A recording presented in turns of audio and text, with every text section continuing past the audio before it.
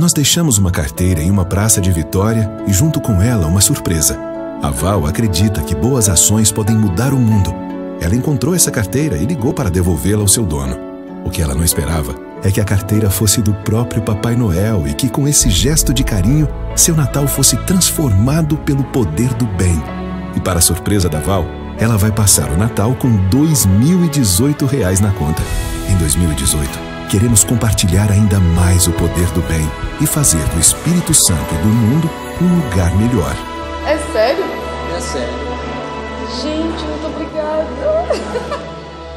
Acredite no poder do bem.